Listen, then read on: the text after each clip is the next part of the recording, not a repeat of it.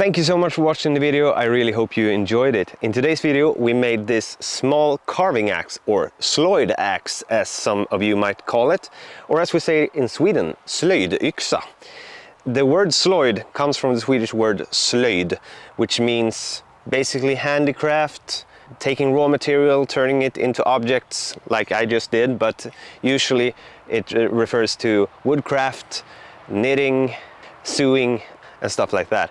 I actually got contacted uh, a while back from a guy in Stockholm who runs the Spoon Crank. And the Spoon Crank is a, is a company that's very involved in the carving community all around the world, I guess. And uh, he wanted to design a carving axe with me.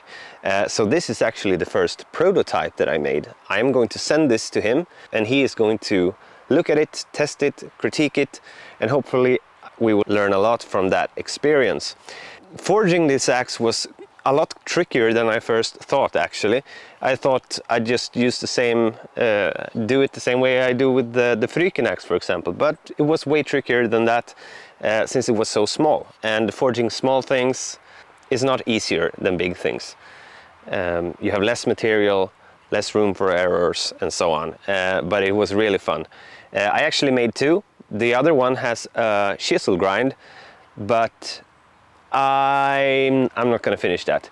This axe has a, what's usually called as a Scandi grind, and um, uh, this is the first time I try it, so hopefully if something, if, if, if there's something to critique, it's the grind, but uh, uh, I, I, really like how it feels. It moves up the hand easy, you can come up to the, to the head without problems. There's nothing, you know, bumping in the way.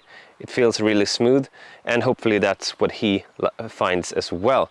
So hopefully we are going to be able to offer these in the future I'm really looking forward, forward to that because I, it's a treat to make and hopefully it's a treat to own and use.